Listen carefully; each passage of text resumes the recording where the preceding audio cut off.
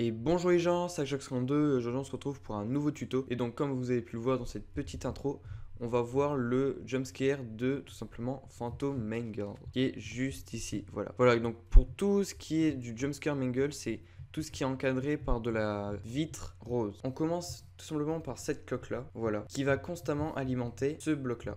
Donc ce bloc là, c'est tout simplement test for block, donc stained hardened clay 9. Donc ce qu'il va faire, c'est qu'il va constamment regarder. Donc si il y a ce bloc là à ces coordonnées là, ce bloc là qui est tout simplement hop, mais donc du coup là il y a Phantom Mangle dessus. Voilà. Donc normalement c'est une tête de Foxy qu'il faudra que j'éclaire les yeux. Donc il va constamment regarder.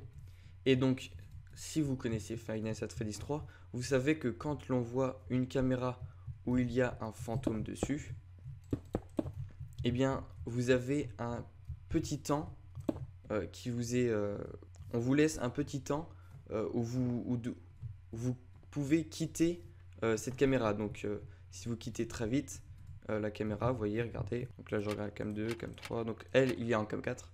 Je joue la cam 4, hop, je change. Et je ne me prends pas le jumpscare. Alors que si je reste... Voilà. En gros, si vous restez un petit temps et que vous vous en allez après de cette caméra, vous n'aurez pas le jumpscare. C'est comme ça pour tous les fantômes dans Final Fantasy 3. Donc comment j'ai fait ça? J'ai tout simplement fait un une cloque qui tourne constamment pour voir s'il y a ce bloc là.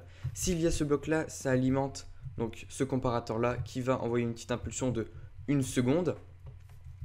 Et si dans ces une seconde là et une seconde, et ça va alimenter ce bloc là qui est exactement la même commande. Il va regarder si le bloc là est toujours euh, à, sa place, à ses coordonnées. Si il n'y est pas, ça veut dire que le joueur a changé de caméra et donc il ne peut pas alimenter là, vu qu'il n'y a pas le bloc. Alors que si il y a encore le bloc, il va lui aussi envoyer une impulsion, ce qui va créer le jumpscare. Maintenant, on va regarder comment ça se passe pour tout le bordel. Donc alors, on commence par ici. Alors là, qu'est-ce que ça va faire? Donc ça va mettre un bloc ici ce qui va, donc normalement vous êtes sur la caméra, me couper la caméra. Ce que ça va faire, c'est que normalement, quand euh, vous, prenez un jumpscare, la caméra se coupe, c'est-à-dire qu'elle se ferme automatiquement, vous n'avez plus accès à la caméra. Comment j'ai fait ça? J'ai tout simplement... Donc du coup, ensuite ici on va avoir le bruit de rangement de la caméra. Voilà, pour faire semblant que la caméra euh, se referme tout d'un coup. Et donc ensuite là, donc là ça va envoyer un bloc de redstone ici qui va du coup mettre le bruit. Donc là, vous voyez que tous les deux ticks, il va l'augmenter de 0,1 pour que, comme dans le jeu, son mouvement soit lent. Donc là, le mob Ender Dragon End, c'est tout simplement quand le, enfin, notre, le gardien de nuit euh, est essoufflé. Et ici, c'est tout simplement quand on remet les redstone wire ici et ici. Voilà, donc du coup, ce tuto fin. J'espère que ça vous aura plu, j'espère que... Bon, il était, il était assez simple à comprendre, Mangle, il n'y avait pas grand chose à faire, c'est pour ça que je voulais le faire comme ça.